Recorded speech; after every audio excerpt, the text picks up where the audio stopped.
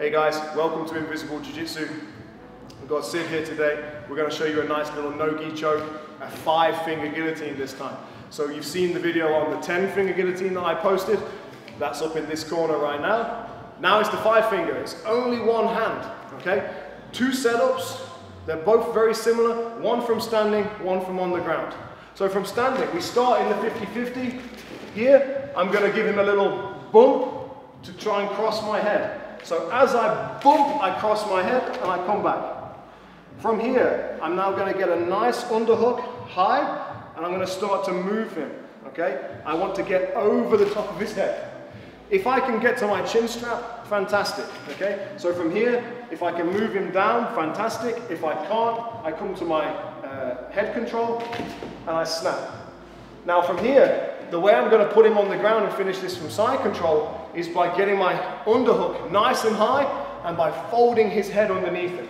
So I fold the head and I turn and I circle here. As soon as I get here, I don't let go of his head. I switch through to scarf form and I finish. You want to come around so you can see?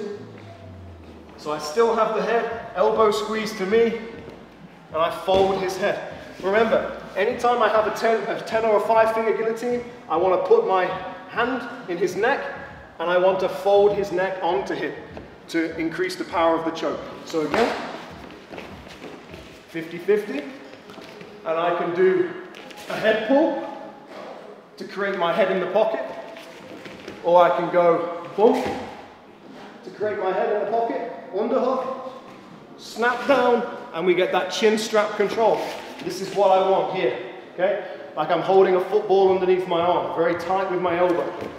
My underhook, I want to punch nice and high, so I get my elbow on his back. If he tries to whizzer now, very strong underhook because he's just hitting my elbow into his back. I don't want to be here where he whizzes and I get caught in that Jon Jones Americana. Here. And now I'm going to fold his head, circle, push.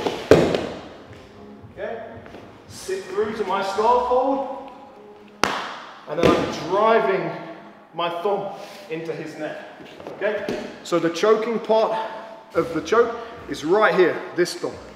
So that's from standing. We can do almost exactly the same thing off, say, a failed takedown. He tries to shoot, I sprawl, I hit my front headlock, and I collect his arm. Remember, I want to put my hand deep into his back to jack this arm up and stop him from pulling me straight back down. It's not this. I'm not trying to move him here. I'm trying to get to here. And then I circle.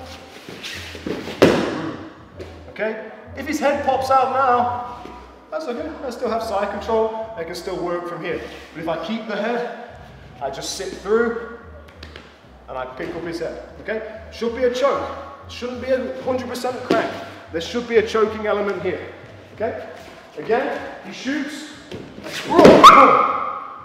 Underhook deep and I start to work my angle. Okay? Let's just come around. So I work my angle. I get to here and then I run him through, dip the head, take him over, and here is my five finger guillotine. I can trap this arm, and if that doesn't work, we can start attacking other things afterwards. Thanks very much, guys. Thank you to Sid for letting me choke. We've just finished our no-gi class today. If you like the video, leave a like on the video, share with all your friends, support Invisible Jiu-Jitsu, and we'll see you again.